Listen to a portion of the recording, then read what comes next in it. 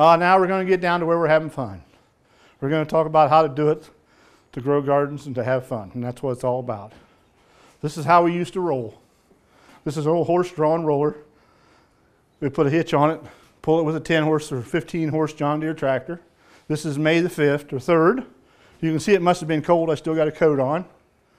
There is a tomato, you know, with a, with a cage.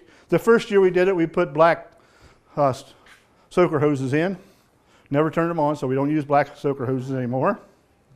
You know, 20 pounds more tomatoes per plant versus black plastic. Versus black plastic. Is that a transplant? That is a transplant. Yes, it is. How we do it? We take a little spade, wiggle the soil open, stick it down in there, put the rye back, put a cage over it. Goodbye, you're done. No more black black end rot because the soil don't splash up on the tomatoes. You know, They're great for weed suppression. there they are. There they are. Stakes may not work. You may have to use cages to make them do that well. But just look at the armor. That's what I wanted to show you. There's armor. No weed pressure. You know. Everybody likes to talk about their new inventions. This is my precision pumpkin planter. This costs lots of money. This is like Ray's planter, other than it didn't come with a seat and an air conditioner. This has got a seat and an air conditioner on it. But what we did, we took an old corn planter unit. On that drive wheel right there, there's a red mark. We put a seat on there because it's just hard to keep walking behind the thing so you can ride. Put a funnel up through there. There's the, there's the opening disc, and here's the fluted coulter. And the bucket there's got fertilizer in it, and that five gallon bucket does seven and a half acres. You know. So he puts two seeds and a quarter fistful of fertilizer down every time he sees that red mark, and that's a hundred year old sod. Never had a crop in it for 100 years. That's an old pasture that he just no-tilled into it. The reason we got that, that belongs to the Ohio Wool Growers Association. The taxes were $13,000 on that seven acres because it was a commercial. They says if you can get us to agriculture use, we'll rent it to you. I saved him $8,530 every year and I pay no rent. Neat thing about this is, guys, these are pumpkins. No herbicides other than the burn down to take out the, the fall grasses from that pasture. No fungicide treatments a quarter fistful of fertilizer every plant, or a five gallon bucket full. And that white pumpkin right there is $37 and this is 17. You know? Anyhow, this is our no-till potatoes. And what we'll do out here, we should do it this afternoon. Everybody should have had two potatoes to take with them to the field. Because we're going to roll the cover crop. And we put two put a row of tomatoes potatoes down right on the cover crop. Take an old rotten round bale of hay, roll it out on top of there, and there they come. Look how dark green those potatoes are. No till taters. There, this is uh, Durr, George Durr. He's right on Route 77, just after you cross into Ohio. 750 acres of pumpkins. Four years ago, he called me and he says, we, You put pumpkins on rye. Tell me about that. We went down to see him. We sold him a 15 foot crop roller. Got him to plant 90 pound of rye per acre on 400 acres. This is the results he had.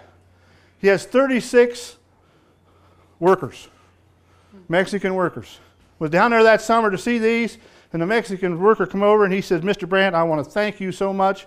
He says, we normally had to walk those fields, hoe out the weeds, put drip line down, hook up a drip line, go out and check a drip line because a deer would walk on it and cut it, fix it.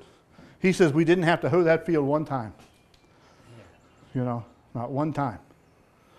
So from now on, they're all pumpkins with rye. Uh, this is our this is our mini planter, and I don't know whether this may not be the one, but it has a Dawn crop roller on the front of it that will roll the residue. Uh, they sent me this as a demo, so there's only three units that's got a roller, and one unit's got a fluted coulter. So we're comparing to see if the fluted coulter one about emergence. That's what we're doing here. So you got a picture of that one, right? Yeah. Is that the, okay, well, here you go. There you go. Here we go. This little bit of green you see here, this was thrown out there March the 1st with a broadcast seeder. Uh, I'm going to call it four sweepings from our seed sales business. We didn't think it'd grow. Uh, it finally warmed up and it started growing. So, but here you can see the roller working. It has a, uh, a uh, scraper a, that'll clean a tr- track to put the corn in. No fluted coulter. See that, Marshall? That ro- roller? Those are 1200 bucks a piece for each one of those, aren't they? Yes. We saw one in Ohio, we just didn't get to see it work. Yeah, look at that. So, in other words, you can roll it and plant all in one activity. Now, how do you get that planter to work? That planter is a 1962 planter. And Dave, like if you find one that you have to do a little refurbishing, how much would something like a planter like that cost? We give uh, we give three thousand dollars for that four row planter. You know, and didn't have any- and just had to put some oil on the chains to make it work. But what I want to show you is if we can get to Because a lot of farmers don't want those small planters, right? It's- Right, And you can find these You can find in them. a garage. if you'll see those little them. boxes in the back there, stop it right there, Jay. Those are insecticide boxes. Guys didn't like White planters because it didn't it wouldn't penetrate. Why wouldn't they penetrate? They didn't have enough weight. They didn't have any spring pressure. So guess what? When David had one, those boxes right there, you got the seed box, first box, second box, insect box. That insect box holds 200 pounds of sand. Ah. So that weight transferred to the seed opener, the seed is always at the right depth. No matter how hard and dry the soil gets. And guys can't figure out how to make that planter work, and I just love it. You know, You don't tell them. I don't Yeah. tell them. You know, we have the ability to put liquid fertilizer on if we need it, but I just want to show you there's options out here. You know, to do lots of things. So you can put your compost tea in there. You can Right. put your fish oil, compost tea extract. Perfect. And this is just, you know, cover crops can reduce erosion, provides nutrients, and save you money. And my cover crops, I like to think about is my woodlot. My cover crop represents my woodlot because we have different size trees in our cover crop. We got the big oak trees, we got the we got the little bitty dogwood trees, we got some we got some pine trees just because of the species that are for covers. And I think that's the next we're going to talk about is how to select a cover. And I think Ray and I and Jay All three of us are going to jump in and we're going to design your mix, Marshall, for that field, a summer mix. So we'll all walk through it so you can start. We're going to teach you how some of the principles we want you to start so we can design a mix, okay? And then we're going to go out in the field.